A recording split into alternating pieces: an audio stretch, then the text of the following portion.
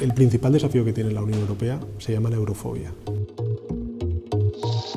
No podemos tener símbolos que separen a españoles y que en consecuencia eh, los restos del dictador Franco tendrían que ser exhumados del Valle de los Caídos.